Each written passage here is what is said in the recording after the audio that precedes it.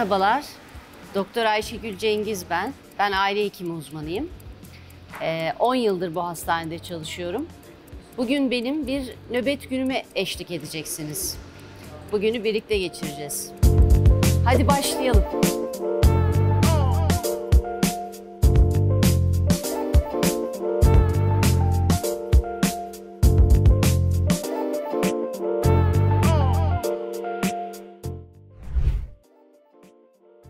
Hastaları devralayım ben senden. Günaydın. Bir hasta çizelgesi alabilir miyiz? Hı hı. Onu nörologlar tarafından konsülte edildi. Hı hı. İlaç tedavisine başlanıldı. hı. Şu anda daha iyi ilaçlarla stabil hale geldi. Tamam, tamam süper. Başka bir problem yok. Başka problem yok. Evet. Servis stabil. Aynen öyle. Tamam, tamam. Çok teşekkür ederim. Ne demek?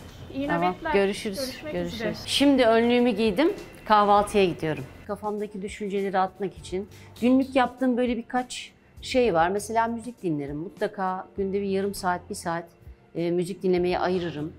E, çünkü o sizi başka bir evrene taşıyor. Zihninizi bir yerde temizliyor, arındırıyor. E, o çok iyi gelir bana. Ya da ne bileyim mutlaka bir öykü, bir şiir, küçük bir şey okurum.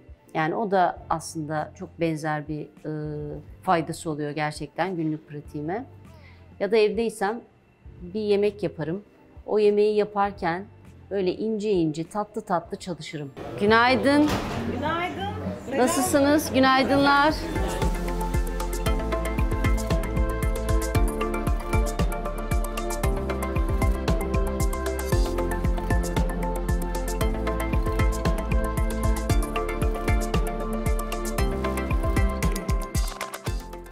Mesleğimizin en zor yanlarından bir tanesi hastayı bütünüyle anlayabilmek.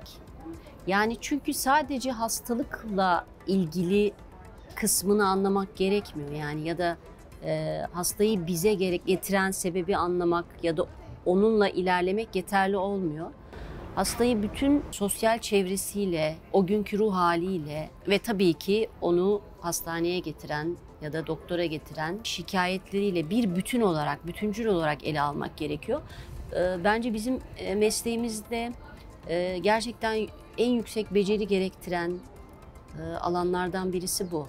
Hem iletişim becerisini gerektiriyor hem de yüksek bir tıp bilgisi ve becerisi gerektiriyor.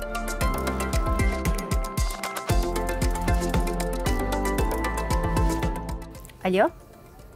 Ha, efendim. Tamam. Ateşi var. Ee, ilk defa mı ateşleniyor? Dün gece olmamış. Tamam o zaman takalım. Ee, ben servise geleceğim zaten. Bir vizit yaparım. Tamamdır. Görüşürüz. Bay.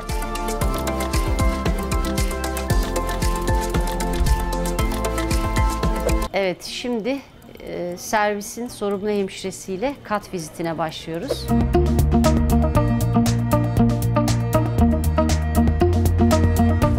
Merhabalar. Hoş geldiniz. Bulduk. Nasılsınız? Nasıl geçti dün gece? Ameliyattan sonra rahat Ben ettin mi? İnanılmaz iyiyim. Hı hı. Hani beklediğimden daha rahat geçti. Süper. Teşekkür ederiz. İyi ki varsınız. Bir de- Çok Çok rahat sağ olun. geçirdik bu süreci. Çok sevindik. Biz de bu yüzden varız. Peki, geçmiş olsun. Gene bir şeye ihtiyacınız olursa buralardayım ben. Sağ olun. Tamam. Sağ olun. çok Görüşmek teşekkür üzere. Görüşürüz. Görüşürüz. Bay bay. Kat viziti yapıyorum. Hastamız bir gece önceyi nasıl geçirmiş? Ee, Onu konuştuk öncelikle. Gayet rahat geçirmiş. Herhangi bir şikayeti olmamış. Tedavi sürecinden memnun. Ee, Biz de tabii ki onunla e, rutin olarak yaptığımız testleri, e, hastalığının gidişini e, paylaşıyoruz. E, Varsa hasta yakınlarının ve hastanın endişeleri, onları gidermeye çalışıyoruz. Tabii burada bu hastamızın primer bir hekimi var. Bütün bu süreci ona danışarak, onunla e, birlikte e, karar vererek, konuşarak, konsülte ederek ilerliyoruz.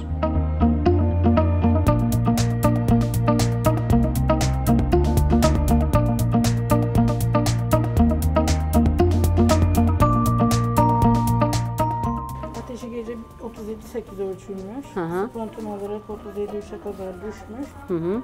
Pozisyonları veriliyor. PEGI var. Peki var ne alıyor? Nutrisyon Advance mama alıyor. Rezidi kontrolü yapılıyor. Hı hı. Bilginiz olsun. Antibiyotiği var mı? Antibiyotikleri var ama isimlerini yazmadım. Tamam. Merhaba, geçmiş olsun.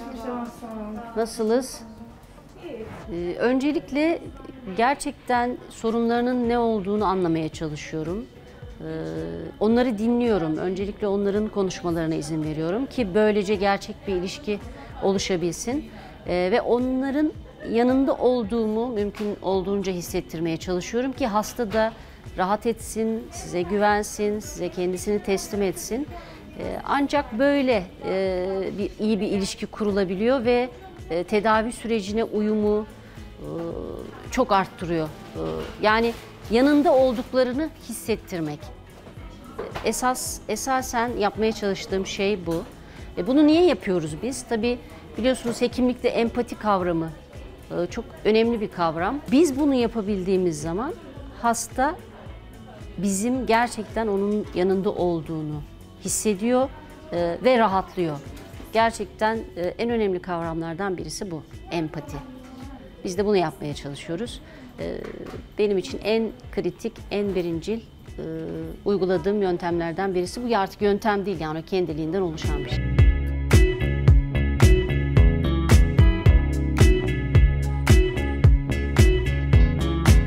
Zor bir vakayla karşılaştığımda ne yapıyorum? Yani önemli olan o ana odaklanmak.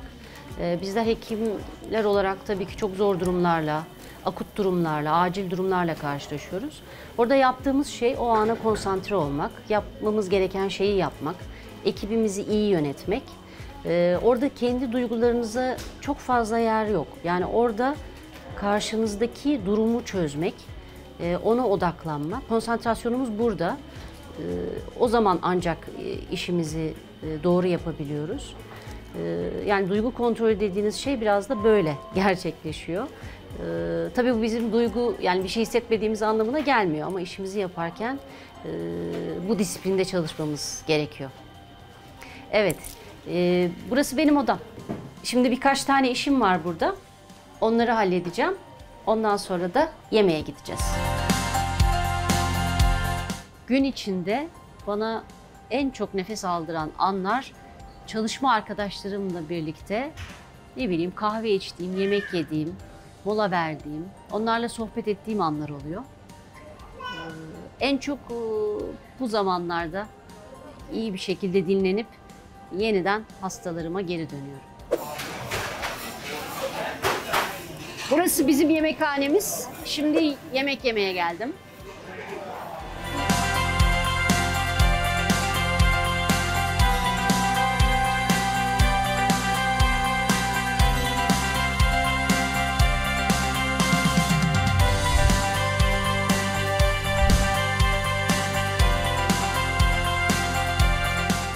Hastamızı muayene ettim.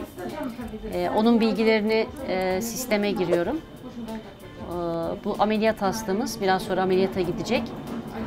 Sonra da vizitimize geçeceğiz.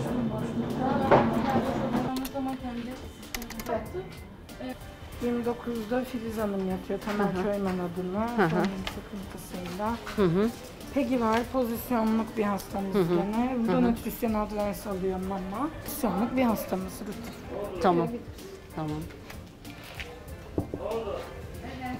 Birincisi tabii ki biz hastalarımızın hastaneden mutlu ayrılmasını istiyoruz. Ee, bir ekip içinde çalışıyoruz. Ee, ve burada elimizden geldiğince e, bu ortamı yaratmaya çalışıyoruz. Beni en çok heyecanlandıran şeylerden bir tanesi e, bu ortamın, bu evrenin, bu dünyanın bir parçası olmak elbette. Ee, bir diğeri hastalarımızla, hasta yakınlarımızla e, bu çok özel anlarında, çok özel durumlarında, bu hastalık halinde, zor durumlarında e, onlarla hakiki bağ kurabilmek, hakiki insani ilişki kurabilmek. Bu meslek bize bu şansı veriyor. Bu gerçekten çok kıymetli, ona inanıyorum. İşimde beni en çok heyecanlandıran bir diğer şey e, tabii ki yenilik. Yani sürekli aslına bakarsanız e, pratiğimizde farklı bir şey deneyimliyoruz. Yani bizim bir günümüz diğeriyle hiçbir zaman aynı değil. Hastalarımız farklı, hastalık durumları farklı. Hastalarımız zaten kendine özel, biricik. O yüzden de e, sürekli mesleğin size bu yeniliği, bu dinamizmi getirmesi, e, bize de daha yaratıcı, e, daha farklı yaklaşımlar geliştirmek için çok uygun bir e, dünya sunuyor diyebilirim. Bu da çok büyük bir şans tabii ki.